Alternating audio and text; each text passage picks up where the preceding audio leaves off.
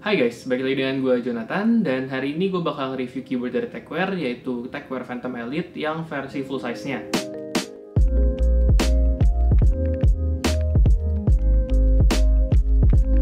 Oke, jadi keyboard ini dia itu yang di unit gue nih dia tuh ada full size. Uh, cuman ada varian lainnya yang TKL dan untuk overallnya itu dia buildnya mantap banget dan untuk keyboardnya dia tuh memiliki hot swap socket yang universal dan switch bawaannya sebenarnya udah cukup oke. Okay hmm, bisa dibilang itu yang tadi gue bilang tuh udah bisa kayak konklusi video ini. Cuma untuk detailnya akan gue lanjutkan setelah ini. Pertama kita bakal mulai dari case dan build keyboard ini. Yang overall bisa dibilang uh, mantap banget.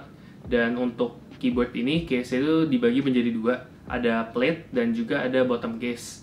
Kalau untuk plate keyboard ini bahan yang digunakan adalah bahan logam dan untuk warnanya itu bisa dibilang gunmetal gray. Dia itu tidak ada marking di bagian mana pun kecuali di LED indikatornya. Setelah itu, untuk case plastiknya, dia itu ada marking tulisan Phantom di bagian kiri bawah keyboard ini, dan untuk plastiknya itu bisa dibilang cukup oke. Okay. Kalau untuk bagian bawah casing ini, dia itu ada 4 rubber feet dan juga dia ada dua flip up feet. Nah, untuk flip up feet ini dia itu juga ada semacam karet gitu. Jadi kalau misalnya kalian gerak-gerakin keyboard ini pas lagi pakai flip up feetnya nggak bakal licin.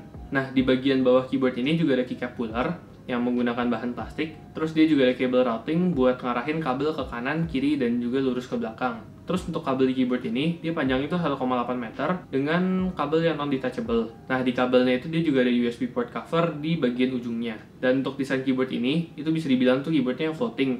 Jadi kalau misalnya kalian lihat dari samping, switch itu bakal kelihatan. Uniknya, di unit yang gue pegang sekarang ini, dia itu di bagian kirinya itu ada kayak semacam foam yang bleber keluar gitu. Itu mungkin dari ada QC defect gitu. Cuman eh, nggak uh, terlalu menghindar performance atau gimana gitu sih. Cuman agak aneh aja bisa lewat QC kayak begituan.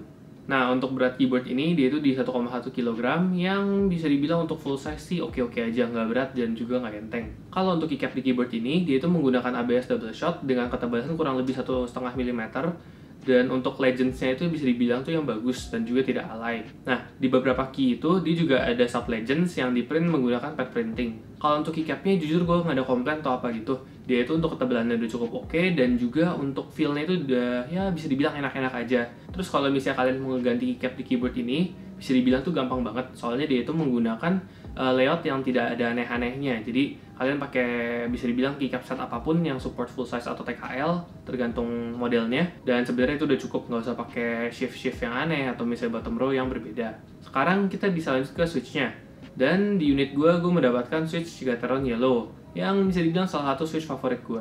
Terus untuk keyboard ini, dia itu opsi untuk switchnya itu juga banyak banget. Dari Gateron, uh, hampir semua warna kayaknya Terus juga ada untuk Kyle box yang standar, itu juga ada semua warnanya. Kalau untuk Gateron di keyboard ini, dia itu menggunakan Gateron KS9 yang support untuk SMD LED. Dan untuk Gateron yang di unit gue ini bisa dibilang batch-nya tuh yang oke, okay. jadi dia tuh nggak gitu jelek dan juga nggak gitu bagus.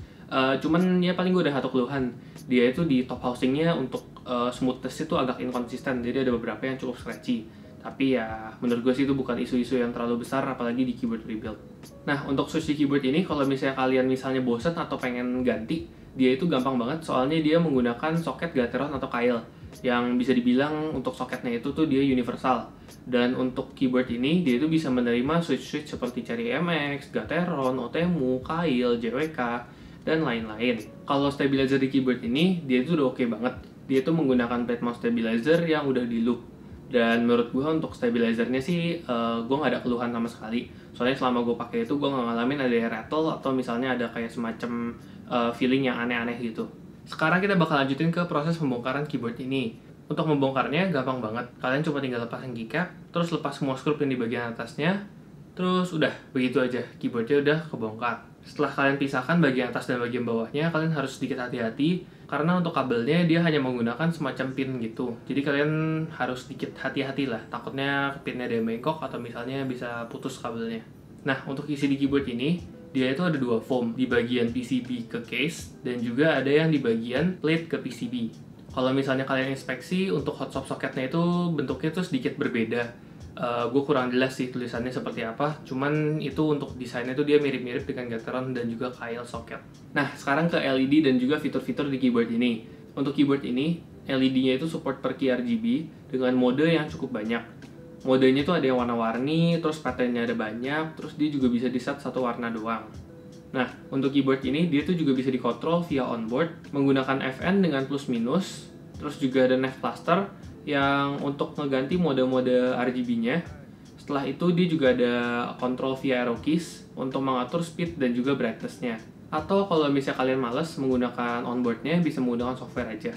Kalau untuk fitur-fiturnya, keyboard ini memiliki multimedia function keys yang terletak di function row. Untuk mengaksesnya, kalian dapat menggunakan FN dengan memencet yang di F row. Setelah itu, dia juga memiliki Windows Lock yang dapat diakses menggunakan FN dengan Windows Key. Kalau misalnya untuk software di keyboard ini, dia itu cukup simple. Jadi dia tuh bisa gonta-ganti fungsi setiap key, lalu gonta-ganti mode lighting, terus juga bisa ngeset makro. Sekarang gue bisa lanjutin ke isi boxnya.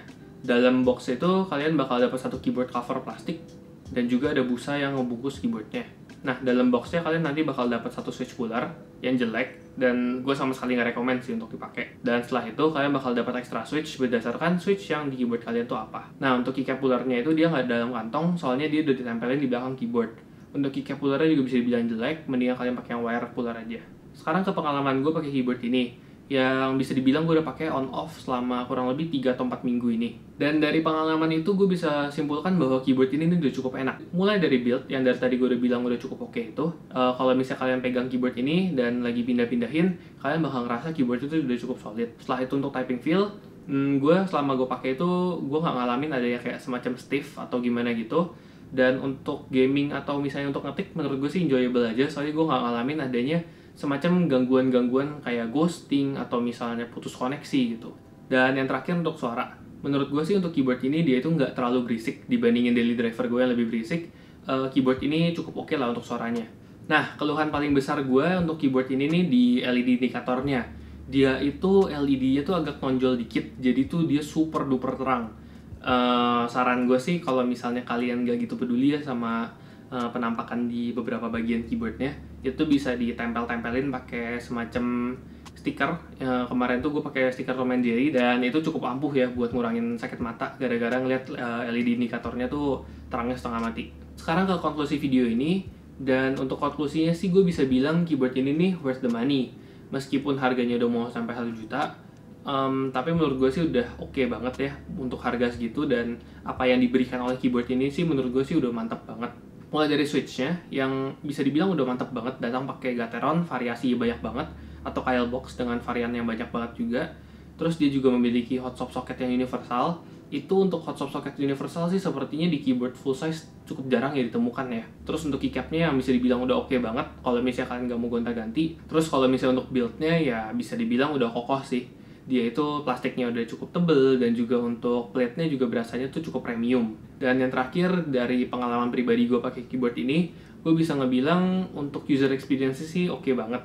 Jadi kalau misalnya kalian mau ngebeli keyboard ini sebagai first keyboard kalian, uh, gue bisa rekomendasiin. Dan kalau misalnya kalian pengen beli keyboard full size yang kalian bisa customize, ini keyboard mantap banget sih. Thank you udah nonton sampai sini. Like and subscribe kalau misalnya kalian suka dengan konten gue. Dan setelah ini bakal ada typing test yang akan gue tampilkan bentar lagi. See ya!